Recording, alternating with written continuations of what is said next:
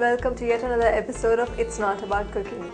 Today, let me take you through a royal tour of Awadhi cuisine.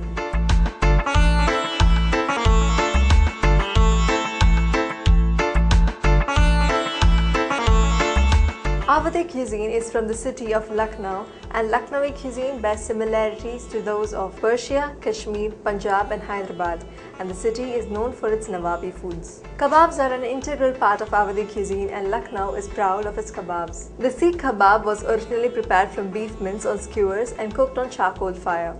Now, lamb mince is preferred for its soft texture. The kakori kebab is made from minced mutton and other ingredients include khoya, white pepper and a mix of powdered spices that remain secret.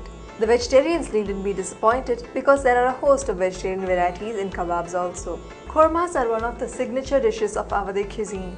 Even though kormas are rich, they are also mild, containing little or no chilies. There are both vegetarian kormas like the Navratan korma and non-vegetarian which is made of chicken, lamb, beef or fish. The Murg Awadhi Kurma is a classic from Lucknow. The Lucknowi biryani is world famous and rightly so because this version of the biryani has perfectly cooked meat, rice and a homogeneous flavor of aromatic meat broth aromatic spices and sweet flavors. Wheat is the staple crop of the region and hence bread varieties are consumed by all. Chapatis, puris, parathas, romali roti, tandoori roti, naan are the basic bread varieties that are commonly consumed. How can we leave out chaat when we talk about Lucknowi cuisine? Chaat and samosa were originated in Uttar Pradesh but now are popular nationwide and abroad. These are the integral part of street foods across India and many other chaats like dahi vada, aloo tikki are originally from Lucknow.